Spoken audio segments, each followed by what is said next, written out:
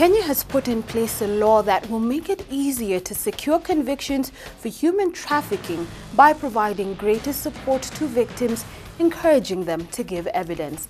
Now, the Victim Protection Act of 2014, signed by President Uhuru Kenyatta, aims to improve support to victims of crime, including provision of a place of safety, food, medical treatment, psychosocial care, and police protection.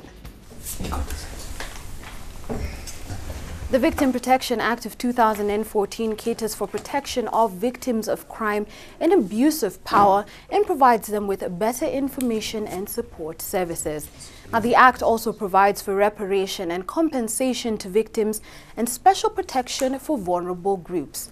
Now, the President also signed into law the financial bill. Now, it seeks to amend sections of the law that are relating to taxes and their applications, covers income tax, value-added tax, customs and excise, and taxation of extractive industries.